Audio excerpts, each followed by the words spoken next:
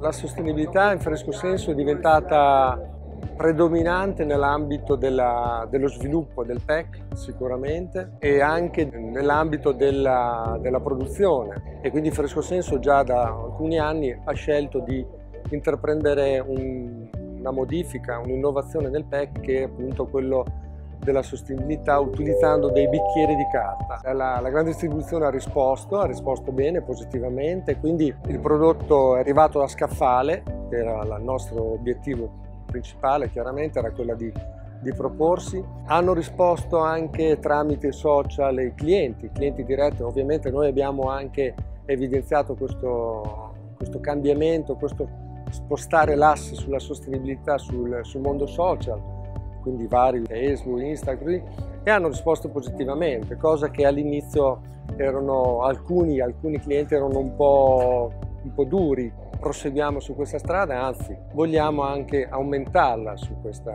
questa offerta in bicchiere di carta. Chiaramente la carta in questo caso la fa da padrone, è vista come il materiale principe della, della riciclabilità e sostenibilità e quindi noi abbiamo perseguito su questo e vogliamo perseguire anche in futuro allargando formati e allargando anche tipologie di prodotto dedicato a questo pack in, eh, a formato di carta.